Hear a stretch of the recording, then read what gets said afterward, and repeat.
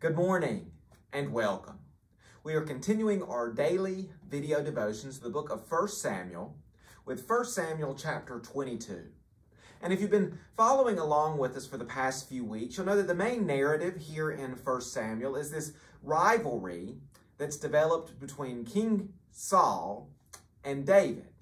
And you'll know that this rivalry is really one-sided because it's only King Saul who seems to be so caught up in this proverbial rivalry. And King Saul's so caught up in this rivalry because Saul's quite jealous of David.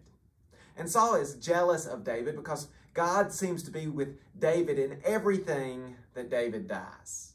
And over the past few weeks, we've read time and time again when Saul has tried to put David to death, when he's pursued David, when he's tried to capture David, when he's tried to have David killed.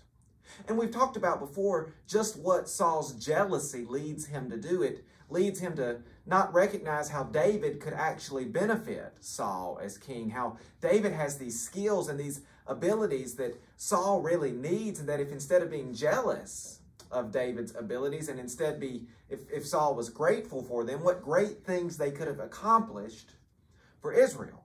We talked about how Jealousy prevents Saul from being able to recognize the gifts God's given to David. And more than that, it prevents Saul from being able to be the king that he really needs to be. Well, here in chapter 22, we see one of the other more tragic effects, even, of King Saul's jealousy.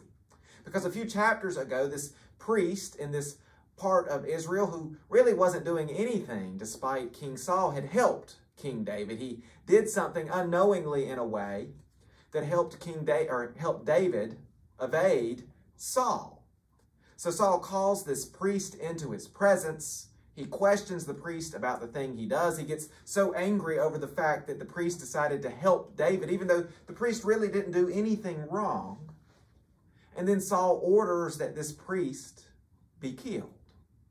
And more than that, he orders that the priest's entire family be killed. Men, women, children, animals, you name it. Saul had all of them killed. So it's crazy, it's tragic to think about what King Saul's jealousy meant for King Saul, what it meant for David, what it meant for people that had just absolutely nothing to do with this rivalry that King Saul decided to have with David. And I think it serves as such a tremendous warning for us about what we let our own jealousies do in our life. It prevents us from having friendships with certain people. It prevents us from being able to see the gifts and the talents and the abilities those individuals have. It prevents us from being the church that we need to be in some ways or being the community that we need to be. Our uh, jealousy can prevent us from being able to do just so many things. So let this chapter serve as a warning to you about the role that jealousy plays in your life. Let it be a warning to you about jealousy, about how it not only hurts you, it hurts others as well. So think about that in the days to come, and we'll see you on Friday morning for 1 Samuel chapter 23.